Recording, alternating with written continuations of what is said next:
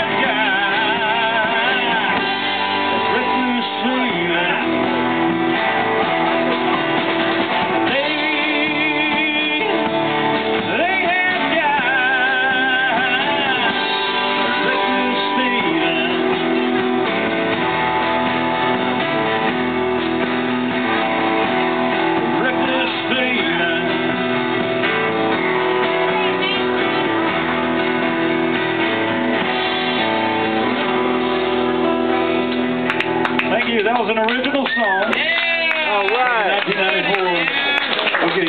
Have a good night. Not done yet.